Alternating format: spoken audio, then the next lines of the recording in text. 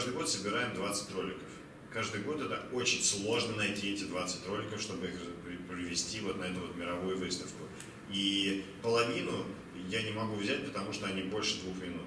Ну, они реально 5 минут, 7 минут. Причем некоммерческая организация убеждена, что это хороший социальный ролик. Вот прямо на телевидении хоть час. Вот, и так далее. Э, и вот это вот действительно есть такой вот, э, ну, некий вот э, баг в понимании вот внутренней медийной вот этой вот структуры. Я знаю, по Ютубу там есть ролики, которые полторачасовые фильмы смотрят. Ну, конечно, мы про ТВ рекламу. Мы не сегодня сейчас по Ютубу же говорит, что социальные организации, которые работают у нас на телевидении от Ютуба. Почему?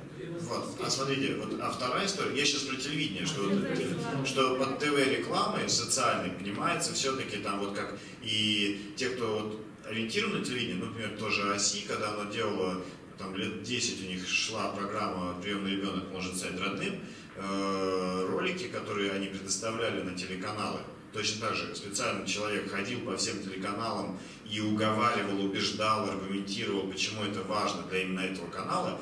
И на диске были ролики 5 секунд, 15 секунд, 30 секунд. Э, и еще и возможности замены пэкшота. Пэкшот крупно с агентством социальной информации, пэкшот крупно только социальные вот этой вот программы и девизы. И там телефон федеральный, телефон локальный могли меняться. То есть это вот именно с учетом всех специфики телевидения. И с другой стороны, э, в какой-то степени уже можно говорить о том, что телевидение, э, в общем-то, медленно, но верно начинает проигрывать. И действительно, собственно, слава богу, что есть YouTube, в котором вот сейчас вот нас тоже уже, наверное, видят или увидят в ближайшее время. И там действительно миллионы просмотров, а то и десятки миллионов и так далее, и так далее. И как раз э, поэтому вот мне вот те два ролика, которые мы уже показали из российской практики, они как раз ориентированы на вот эту вот историю, э, ну, условно того, что когда-то называлось новыми медиа. Все-таки вот интернет-вещание в разных форматах, оно тоже вот э, дает на данный момент рост аудитории сопоставимый с Первым каналом. По некоторым программам уже именно социальному контенту, который сейчас вот в YouTube, он уже опережает э, самые рейтинговые программы э, Первого канала даже и так, и так далее. Вот это вот пару моментов. Ваш да. У меня вопрос, у меня комментарий позитивный, можно? Да. да. А, по поводу вот ролика, плакат, а, где плакат бесконтактной оплаты да. фонда Дети Белл, я просто сотрудник этого фонда, хочу да. немножко ну, дополнить как раз про эти плакаты. А у нас запускается проект, если здесь партнер у нас были Ситибанк и Мастеркард, то теперь у нас будет партнер а, государственного предприятия Почты России, а, и эти плакаты, они будут размещаться с QR-кодом вместо вот этой вот сложной системы. То есть просто будет QR-код, где человек смартфоном будет сканировать. И то есть э, та же самая идея, она сохраняется, но технология немножко другая. То есть идея без, бесконтактной помощи, она выражена через QR-код. Вот, и люди в любом отделении почты могут пожертвовать 100 рублей. Ну, эффективность, эффективность, правда, QR-кодов Э, аудитории Почты России э, будет значительно ниже, вот, но, по крайней мере, месседж и узнавание фонда и вообще возможность попадания вот с э, этим сообщением в Почту России, это круто, это да, это, да, это прям шикарное достижение. Да. Угу. Да, здорово. И вот как раз тогда вот у нас логика-то была без учета вопросов, а в, в, в том, как мы хотели построить э, некие показы. Поэтому сейчас вот я хочу...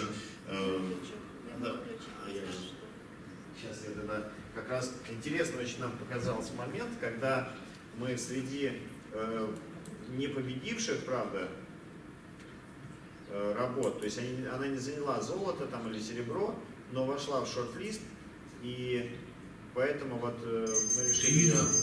When we make donation to help other people, nearly one-third, 31% of annual giving occurs in December. Even 12% of all giving happens in the last three days of the year. We usually make donation on a special occasion. Then, how does we make people donate in the life as well as on a special occasion? Transportation could handle the matter. By partnering with Share the Meal, we can make small contribution more efficiently. Introducing Touch and Share campaign. There are two sections of card reader. One section is for transportation card. The other section will charge 50 cents more than your own fares. It will help people in need, especially suffer from a starvation. No document, no phone number, no ID and password. Just touch your transportation card. Make donation in the life. Make someone's life better. Together we can end hunger. Touch and share. Вот эта идея тоже такого бесконтактного шеринга, дарения, пожертвования и так далее. Вот. Это вот пример, это проектный пример. То есть это такое проектное предложение для всех транспортных компаний или правительств, городов, где используются транспортные карты. То есть карты бесконтактных платежей при использовании общественным транспортом. И это тоже такая вот идея как технологически про то же самое, но адаптированная к местным реалиям, к местным реалиям, где вот люди вот э, уже привыкли бесконтактно платить, и к этому уже дополняется вот такой вот э, сервис в виде пожертвования. Мне кажется, коммуникации нет. Есть технология, а почему человек должен платить, заплатить больше, из этого ролика непонятно. Здесь да, здесь именно вот это скорее такое проектное предложение, что если у вас есть технология уже такая, мы к этому добавим, а если вы согласны, мы дальше уже придумаем коммуникацию. А так, если там, это, это ролик не для ЦА, это ролик для именно вот э, презентационный ролик, на, который тоже вошел вот в шорт-лист фестиваля, как именно идея того, что можно делать, ну потому что, например, во многих странах и во многих городах люди давно расплачиваются транспортными картами. Это не банковская карта с э, бесконтактным платежом, это просто карточка. И с нее легко взять вот так вот и э, заплатить. И просто, возможно, по версии, например, видимо, авторов этого ролика, мысли о том, что можно еще и дополнительный сервис к этому предоставить, если уже он имеется технологически, она не приходит, и они эту мысль таким образом формируют. Но это вот как бы вот продолжение как раз э, детей Белла. А продолжение другой истории, как бы маленький третий блок еще. Я хочу еще два ролика про социальную историю. Тоже один реальный, а второй проектный.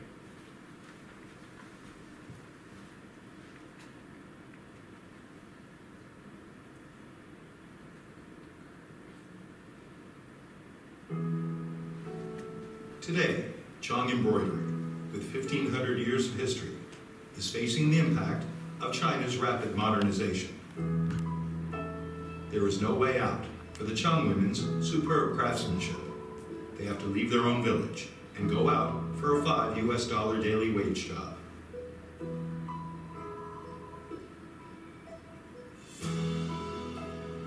The idea, don't donate, adopt a pocket.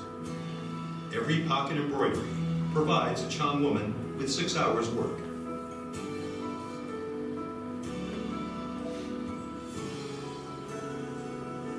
By leveraging the 10 Cent Charity Foundation.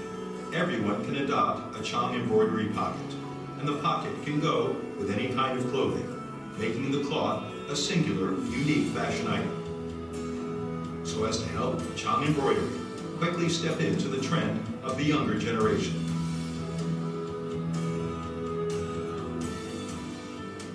The result, within three months, more than 50,000 pockets were adopted, providing one year's work for 810 Chong families. And the families can earn three times more than before. 国家级非物质文化遗产枪绣工艺融入现代生活，赋予传统手工艺全新的生命力。The Chong embroidery pockets have also gained significant attention from fashion designers, and they have been exhibited during the recent Shanghai Fashion Week. We have successfully promoted the precious and rare Chong embroidery culture By using a marketing approach and have also built up a long-term, self-sufficient platform for the Chong people. Вот нам кажется, это тоже еще один тренд социальной рекламы, который все больше реализуется через э, вот, рекламу таких вот продукций и услуг социальных предприятий. То есть это есть социальные, есть некоммерческая организация, социальные некоммерческие организации, есть и сейчас уже, возможно, еще станет больше социальных предприятий. То есть предприятия, которые точно так же цели их деятельности не получение прибыли, хотя, возможно, это коммерческие формы собственности, а именно вот решение точно так же социальной проблемы. Либо, например, э, в России больше развито, когда у благотворительного фонда есть какой-то э, там, цех производства или кто-то, кто производит товары, которые продаются, а деньги поступают в этот благотворительный фонд. И вот это вот тот сегмент, который тоже сейчас начинает э, вот, вот в таком вот формате развиваться. Когда социальная реклама, оставаясь по сути, мы понимаем, что это социальная реклама, но эта реклама уже как реклама, она продвигает и продает товары, деньги от которых поступают на решение социальной проблемы. Когда в данном случае вроде бы же простая штука, а почти тысяча семей в год э, таким образом э, э, обеспечена работой и работой, которая соответствует компетенциям человека.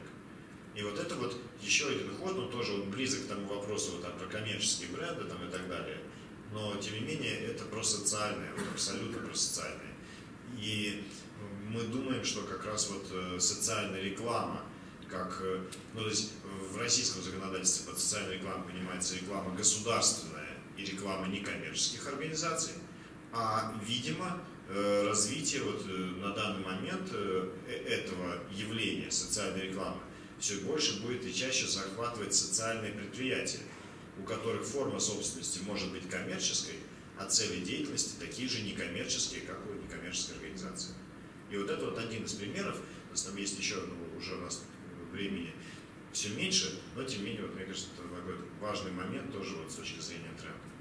И еще сейчас тогда один пример покажу, и мы перейдем к последней нашей части сегодняшнего рассказа. И это будет посвящено очень странному явлению. So how do you get them to talk about all the serious stuff in a way that makes them feel comfortable? Speak to them in their language. Emojis. Teens face a constant barrage of negative influences, so we created a campaign called We Got You that used emojis to speak to teens about what they're facing. Instead of headlines, we had emoji codes that drove people to our site with a simple call to action to crack the code.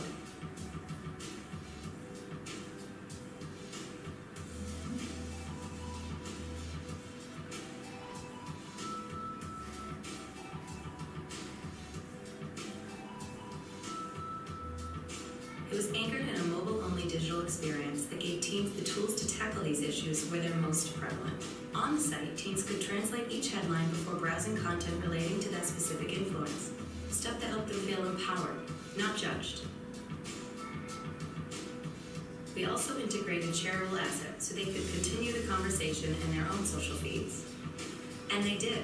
Almost immediately, teens started sharing and making their own emoji codes.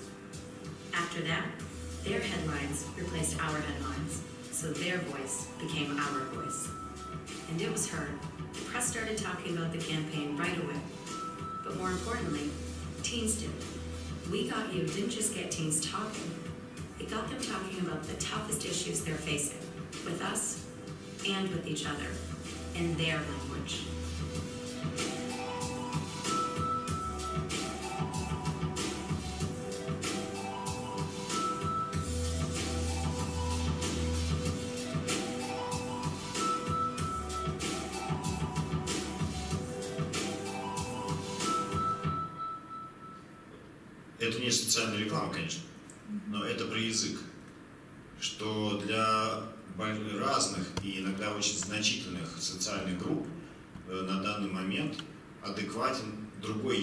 Не тот, которым мы сейчас говорим, вот сидя здесь, вот на этой сцене. И если мы хотим, чтобы нас услышали, поняли и захотели коммуницировать, мы можем говорить на этом языке.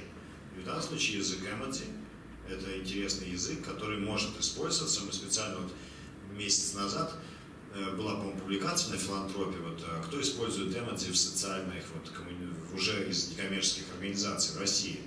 Оказалось, что буквально почти никого нет, кроме, я сейчас помню, э, по-моему, Донор Сеч использует, он сделал несколько стикер-паков, э, и, соответственно, их можно бесплатно получить как вот для коммуникации между людьми с стикерами в мессенджере, которые вот оттуда взяты.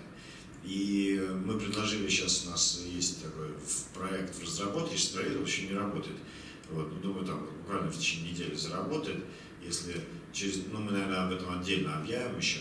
Э, не так, чтобы это такой глобальный проект, потому что это такая вот именно тестовая, экспериментальная, бюджетная история, но с одним из благотворительных фондов э, мы договорились о том, что создаем несколько вот этих стикер-паков, то есть наборов эмодзи, э, вот этих вот стикеров.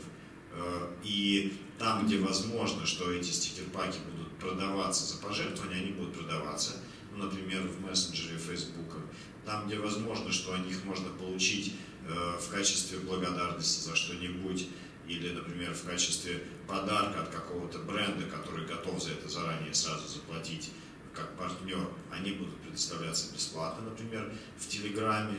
Э, и вот мы сейчас еще там разрабатываем, это скорее такая у нас будет исследовательская история про вот такие вот эмоции добра. Вот. И это вот тоже э, мысль об этом пришла, вот, собственно, когда мы посмотрели, на какие языки сейчас начинают э, быть популярными. И интересно, что вот сейчас в самолете летели, посмотрели фильм, называется «Сфера». Э, ну, это такая как бы антиутопия ближайшего самого будущего, когда компании типа Facebook или Google начнут как бы обеспечивать полную прозрачность жизни каждого человека.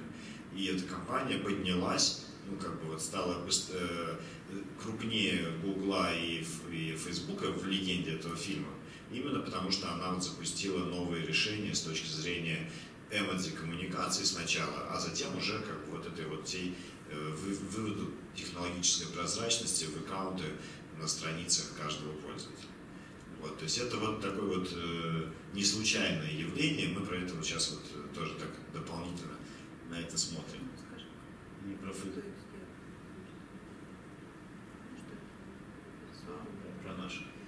Да, у нас, э, да, ну я, так нет, у нас тут, тут по-моему, мы их тут собрали, мы их тут, да. Э, ну вот чуть-чуть еще, тогда можно вот, вот эту просто картинку открыть, она очень такая забавная, вот, вот специальность. Э, вот, смотрите, уже есть эмодзи-транслейтеры вот, э, в разных, э, уже, то есть это профессия уже становится. Вот, мне прям удивило, я даже сохранил это вот такую штуку. А нам эмодзи нарисовали три, э, у нас три сейчас пакета первых стартовых.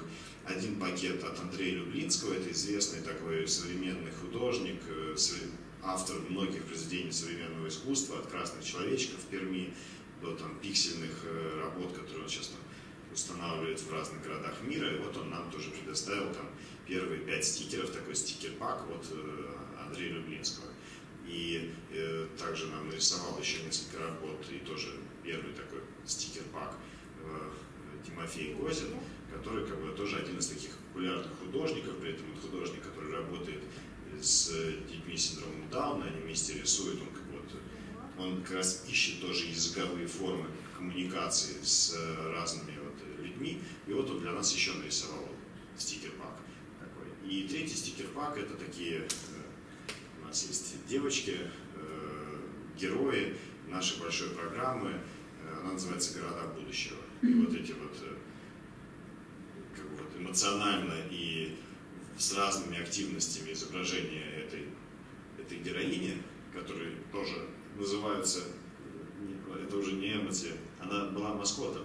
Ну, то есть есть еще другой элемент коммуникации, очень серьезный, это маскоты это антропоморфные источники сообщений, так можно сказать. Ну, то есть это когда, если так э, по-человечески, если вот, например, хочет правительство Москвы что-то сказать жителям, ну, почему надо терпеть э, все лето стройку и так далее, то это важно говорить э, языком какого-то вот существа, которое ну, которому ты, который тебе приятно, которому ты доверяешь, с которым ты можешь условно вот глаза в глаза контактировать и так далее. И в практике, например, вот той же Южной Кореи, вот о чем у нас тут, мы сейчас про книжку чуть-чуть расскажем, там как раз практически каждое вот э, важное сообщение предполагает, что создается специальный антропоморфный герой, который несет ответственность за коммуникацию с жителями. И это такая вот конструкция называется маскот, то есть вот этот вот герой. И вот у нас тоже есть такой маскот про города будущего, и он, а его уже как бы портреты этого героя, вот этой девочки, они стали стикерами, которые вошли в стикер-пак, который называется Эмодзи. Вот, вот такая вот какая-то Ну, как бы, а что делать? вот такое у нас будущее, там много разных новых вещей, мы про коуп это говорили, тоже забавно. Вот, интересно, в разных странах это по-разному происходит, вот все эти, вот где-то одни технологии прорывают, где-то другие. Например, в Казахстане э, там не коубы, вот в России коубы популярны, а в Казахстане вайны. Это короткие тоже такие видео штуки. И я когда туда вот сейчас уезжал оттуда, в Алмате недавно был, э, паспорт таможеннику даю, смотрит на фамилию Вайнер, говорит, вот вам повезло. Говорю, что такое? Говорит, ну как такая фамилия? У людей профессия Вайнер, а у вас фамилия Вайнер.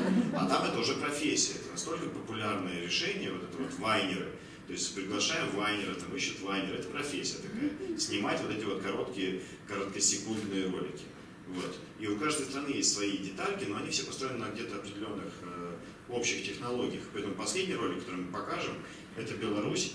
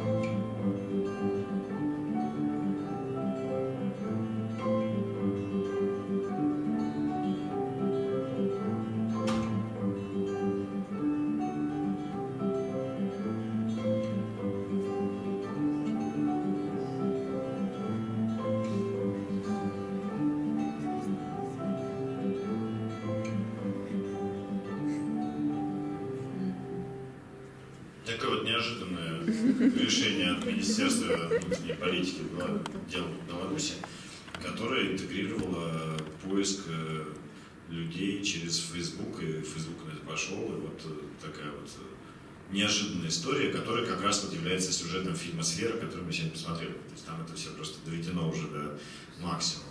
Но это вот, то есть вот эти все, это все перетекающие в разные формы идеи, которые, собственно, кто вот, увидев эту идею, сможет понять, а как ее приложить к нашим задачам, объяснение людям э, там, той или иной социальной проблемы и главное нашего решения этой социальной проблемы, это вот уже, собственно, как раз в чистом виде ответственности и дело каждой отдельной коммерческой организации. И на этом, наверное, вот нам уже надо заканчивать ролики показывать, хотя их очень много, и мы перейдем к двум объявлениям. Да, на самом деле еще больше роликов, э, таких вдохновляющих историй можно посмотреть на сайте фестиваля starsfestival.org. Они все выложены, там не только победители, но и финалисты.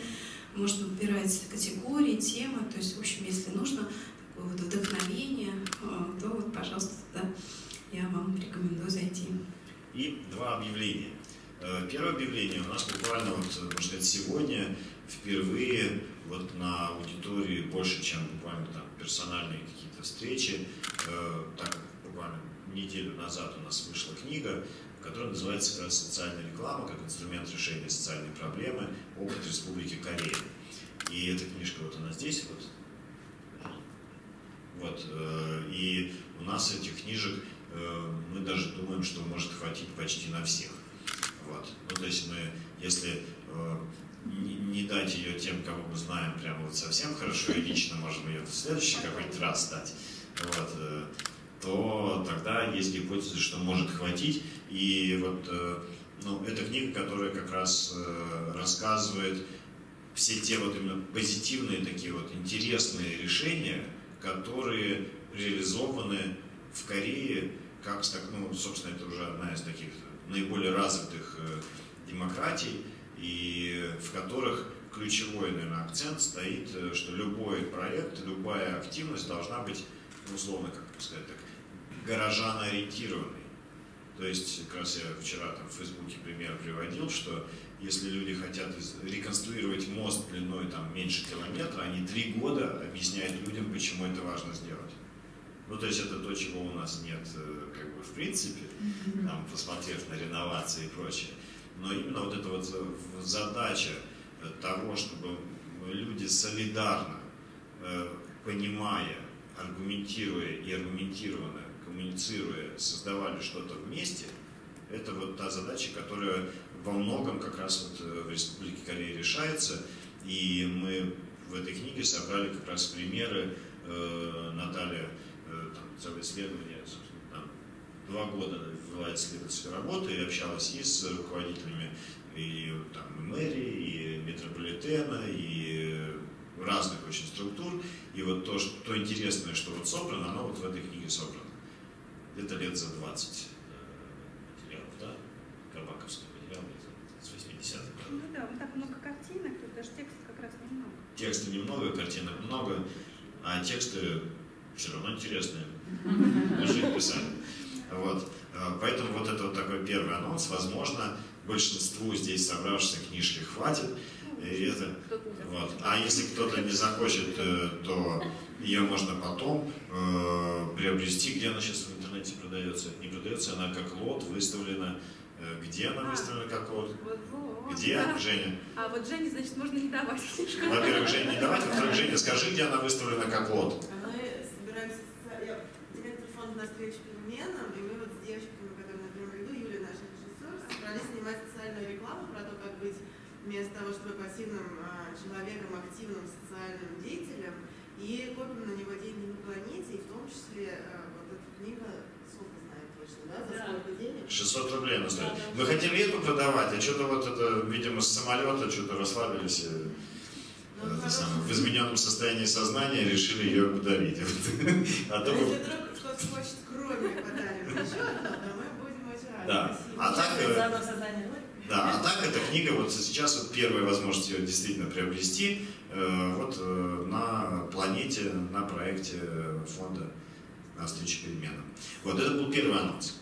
А второй и уже последний, потому что уже нас время прижимает, э, это то, что в этом году, буквально вот с 1 сентября, стартует проект, который реализуется Центром социальных технологий «Гарант», а мы являемся его партнерами этого проекта. Это проект всероссийского конкурса социальной рекламы. Видимо, он будет называться «Реклама будущего». И вот с 1 сентября начинается этот проект. Он э, вошел как один из элементов проекта победителя грантового конкурса Фонда президентских э, грантов. Э, и уже, видимо, где-то так вот, то есть сейчас вот сентябрь-октябрь, наша задача сделать такой сайт, который бы агрегировал и существующие ресурсы социальной рекламы, типа print, один соц, там еще разные. И с другой стороны дал возможность некоммерческим организациям э, размещать там на конкурс социальную рекламу. Мы сейчас как раз продумываем и призовые фонды очень разные, ну там в том числе вот участие в международных фестивалях дальше, чтобы это развивалось и так далее. Вот. И э, это будет социальная реклама как раз не только некоммерческих организаций, но и социальных предприятий. Или, вот, или вообще проектов инициативных групп, комьюнити-центров и так далее, и так далее. Э, сам конкурс э, начнется где-то вот в середине, там, в конце осени, э, и к весне, где-то, по-моему, в марте, подведение итогов. И это будет, на наш, мы так думаем, что это получится именно большим всероссийским конкурсом социальной рекламы, которого, на наш взгляд, вот прям вот не хватает уже давно в России. И это вот, и вы сейчас первые об этом вот так вот публично слышите, вот, а все детали мы уже, наверное, будем рассказывать привлекая и ОСИ, и Теплицу, и Благосферу, и всех-всех-всех наших партнеров. Ура, вот. товарищ! Да. Спасибо большое.